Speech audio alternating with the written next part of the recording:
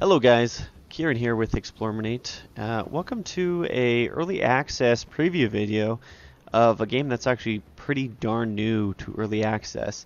This is Northgard. Um, now, this game, I have, uh, you know, full disclosure, I've spent just over an hour with it.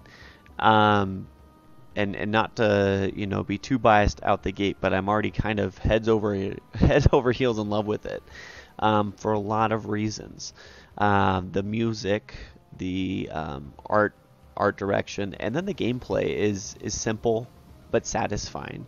Um, you're not going to get as deep as you know typical 4X game, but this is more of a well an RTS with a few 4X elements, I'd say, thrown into it. Um, a little about the game. It just hit early access. I would think it was like last week um, 21st or something like that. uh, somewhere around there, right? Don't don't quote me on that, but relatively, it's within a week still.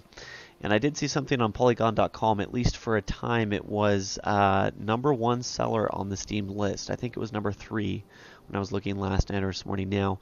Uh, but this game's definitely getting traction, and it deserves it. What Northgard is, if you can't tell from this, it is a Viking game. Um, you get to pick as well, there's a campaign coming, multiplayer coming. We're obviously not previewing those. You get to pick one of um, a few different factions. Um, so they have the Hydrun, the Oakenthurn, and Fenrir. Probably botched those. I'm sure no, some of you know how to say that better. But essentially what these clans do, they provide slight differences in the bonuses for the um, for, for how you play. Um, and then one thing to to disclose here too, music might be a little louder than normal. It's just phenomenal. I wanted that in the movie. And actually, the last couple minutes, I'm just going to go back to the menu or whatever and just turn the music up and let you listen to it if you want, because that is one of the best parts of this game. Um, back to these races, though. Uh, not races, the clans, excuse me. So you have a small starting bonus, and then your fame bonuses. These just have to do with um, fame, I, I well, we'll show. It's just something you generate. It's how well known you are among the different clans. So I've played as the Hedron before. I haven't played as these guys. Um, and then I played uh, the Fenrir, definitely for the bonus for outside your territory. Um, I'm gonna go with the with Fenrir again. They're aggressive, protective of their freedom, and more than a little reckless. That definitely works, especially for this series. Um, let's just jump right in here. Loading screen, everything is already very well streamlined, I feel like. Um, and here we are. So, here is the game. You start out with three um, villagers. And I'm going to explain kind of what they do as I go along.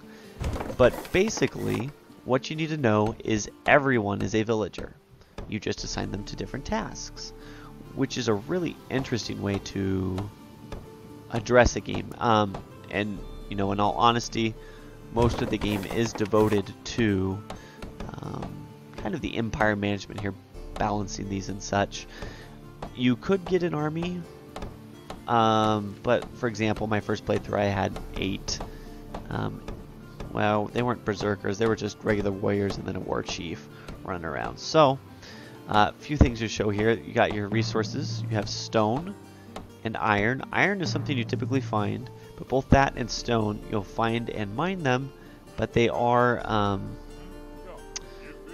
finite resources. They're not used indefinitely there, um, which is interesting. Uh, food and wood, and then the crowns are, however. So you will continue to produce uh, basically villagers. Um, Yes, villagers. I want to make sure I get that right. uh, as long as you're happy and you have the housing for it. So I will need to build a house soon. One thing you see me doing here, you know, I mentioned um, it has some 4X elements. This is exploration right here. And uh, I build a scout and he takes some time to go to the adjacent territory.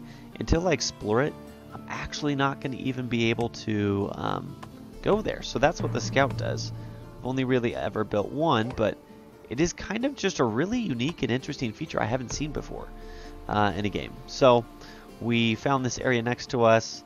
Let's look at it. Anything special about it? It has a lore or rune stone that you can use a lore master to generate more lore, which is basically like your research tree. Um, and then this is a shipwreck, which we can explore it and find some wood and crowns. Oh, that is awesome. So, we have a woodcutter's lodge, a scout camp. Probably should build a home here. Let's build a house. There we have it. And quickly, come over here. Scout, can you go scout? Scoutify this? No, it's not letting me scout it. Scouts explores wreck where you'll find crowns of wood. Why not? Maybe it's because I have the wolf there. Hmm. Well, still figuring a few things out with the game, but see another territory here. This one does have stone, 40 stone, and then trees, obviously. So, there we are. We have our house built. We are capped out, so that is why we're building the house. And then I'm going to colonize this area in a moment. Let us... Oh, there's a wolf there we'd have to take care of. Interesting. We have fish off here? We don't have fish off here. So, how much health does he have? 25? I have 50. I think my two villagers need to come over here. Oh, I can't until I colonize it, can I? In that case, let's colonize this. Build scout camp, woodcutter's lodge, training camp, trading post, healer's hut. Okay.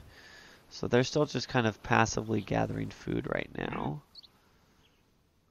Nothing great. Let's head this way. I'm looking for fertile fields um, because food is one thing that is kind of hard to come by, and I do want to prepare a better um, income uh, because winter's coming. You notice down here there's a little map, and when winter comes, you actually will produce less food and things like that. So there is a constant um, seasonal cycle. It's mostly winter and then the rest of the year, from what I can tell. Um, but kind of cool. Uh, any, anyhow, there. Do I have enough to build a training camp? I do. I think that's maxed out. Now, each region, another thing you do have to balance here, is each region is limited in the number of buildings you can build. So that's why I was kind of him-hawing around there what I'm going to do. You notice the weather changes. You get rain, you get sun, you get snow, I think is what I've seen. So all very cool effects there. we have? We've got some deer. It's a good place to hunt. Hunting is another way to gain food. Oh, someone's getting attacked. Um, well, thanks a lot, Mr. Wolf. That's rather mean of you. We're going to take that wolf out. He's wandering into our territory. So you do have to worry about little, you know, if there's an adjacent enemy, you gotta you gotta watch it because they will uh, come come through and attack you, and that could be a lot of different things, I guess. Wolves, bears, monsters, other players. So hopefully we'll run into a few other neat neat um, variants in this video. So uh, right now I am a chieftain. There's a few different victory types. Let's pull those up. You win by defeating everyone through fame which you generate in various ways, controlling areas and then gaining fame. Trade, by having a bunch of money. Or wisdom, which is like your science victory. So, um, I mean, I, I had my whole playthrough in about an hour. It was on normal. I don't know, and I do want to caution people, uh, I, I don't know what would be required or how to make this a, you know, four or five hour game. I don't know if that's really possible. Uh, it doesn't necessarily need to be. Um, ooh. Where's my scout? Where's my scout? Did he die? Nobody's there? Okay, good. So these are Draugr tombs. I get some fame for colonizing it. These are just kind of monsters. We can zoom in look at them. Kind of like dead looking guys with spears and stuff. Pretty neat though. Pretty neato. Um, colonize this first? This really doesn't have anything to it. Let's go up here. Oh, it's a good thing. that warrior is quite weak. Okay, colonize for 20 food. We don't have 20 food yet. Would be nice to colonize this area though. Oh, this is a much better area to colonize. Get your butts down here. Because we have deer to hunt. That's a kind of a renewable source of food. Remember I mentioned the problems with winter. Um, it, it would take care of that for sure. So, what do I need to colonize this? Oh, I'm to have to colonize around here, aren't I? It's not connected. Darn it. Um, so to take a crap area to get to better areas? Oh, well, blue's already taken that, so yes, definitely colonize that. Got to cut them off. And then warriors, go back. I don't need warriors right now. I need people to produce food. This this place literally is empty. That is that is terrible. Usually places aren't that empty. Whatever though, that is what it is. So we'll have more people producing food. This way, we put all our villagers on it.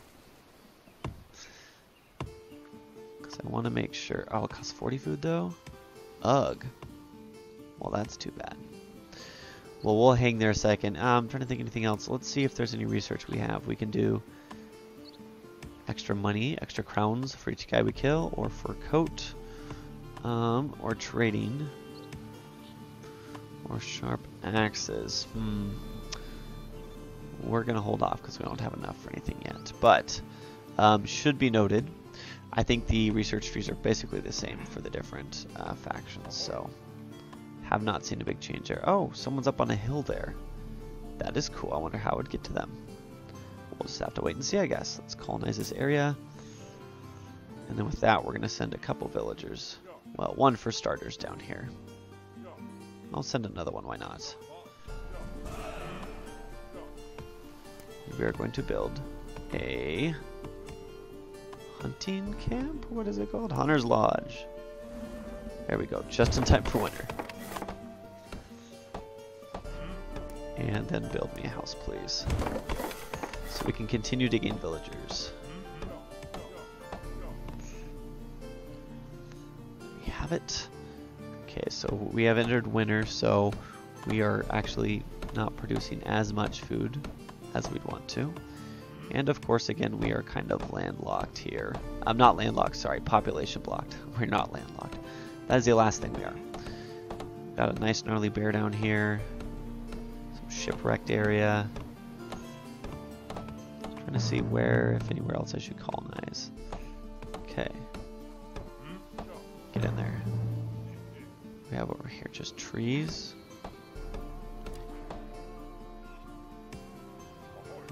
Okay, come explore over yonder. Keep him moving about. There we are. And that is now full. Okay. This also has iron, so we will want to make a villager come down to construct a mine. Now, oh, I already have my two buildings?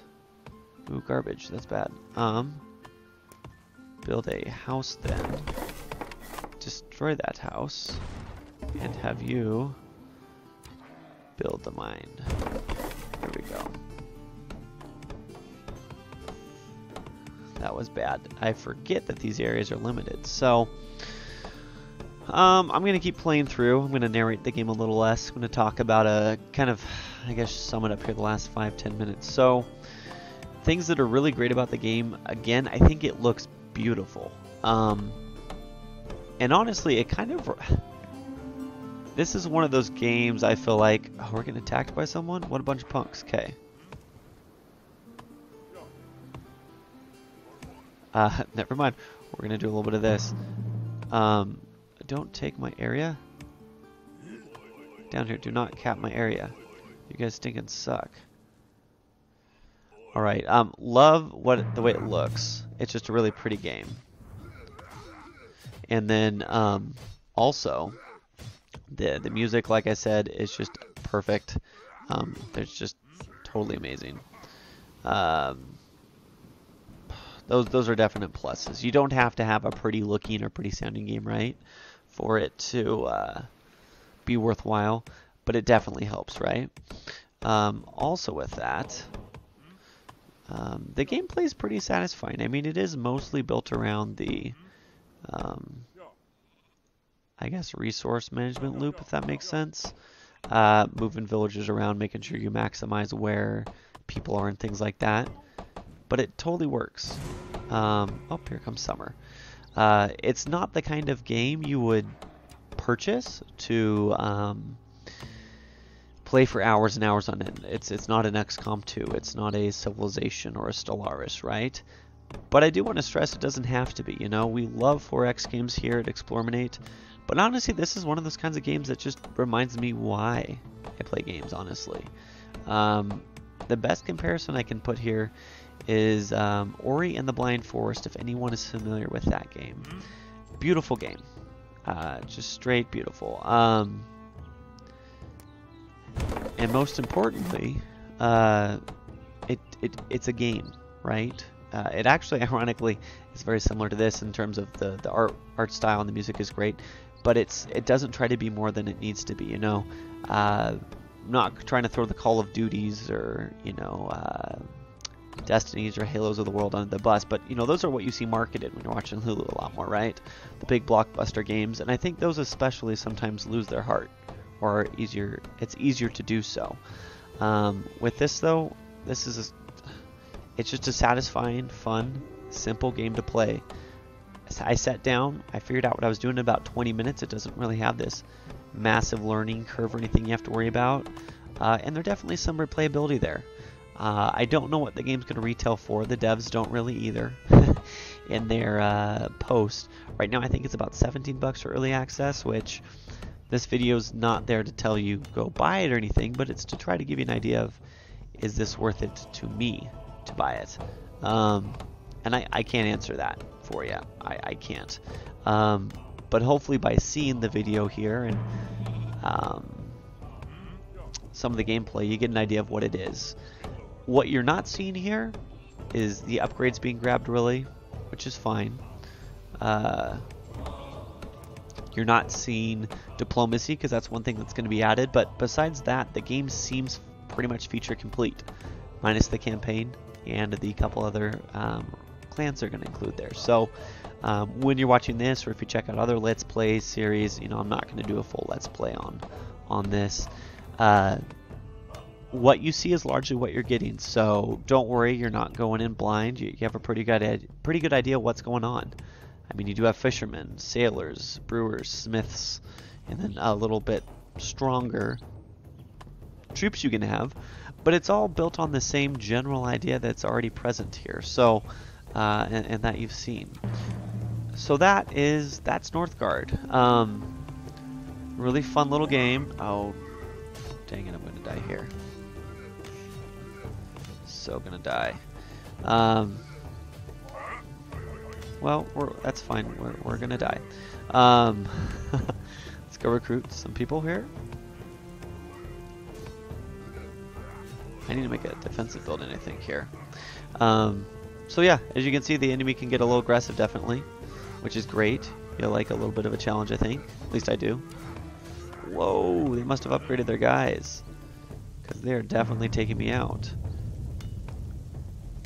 We do need to defend ourselves. Can you do that? Well, we should have built a defensive tower. But, um, oh, the enemy always has these fields, those lucky dogs. Um, but yeah, so I think I'll, leave it there. A few more things to touch on. Someone did find the gates of Helheim. Helheim? Oh, Helheim, I think so I say that. Not the best of my Viking lore.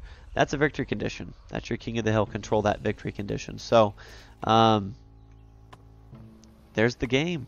That's what we're looking at, guys. So, I've had a lot of fun with it. Again, probably put about an hour and a half into it before this. Um, losing the territory sadness. Uh, we'll just have to recolonize that in a second. But overall, very satisfying. So what I'm going to do here is actually just back out of this. Going to go to the title page. Well, we're actually just going to sit here. I'm going to mute my mic and I'm going to turn the music up. So if you want to listen to the music for a few minutes, it's it's stinking beautiful. So enjoy it. Um, otherwise, I appreciate you watching. Uh, let us know in the either on the forums or uh, comments below if you have any questions on the game. I am open to doing a uh, Let's Play series if there's enough desire for that, but I don't really think there needs to be one. That's why I opted for just the early access video here. Um, but, you know, if the community asks, we'll provide it. So, as always, thanks and have a good one.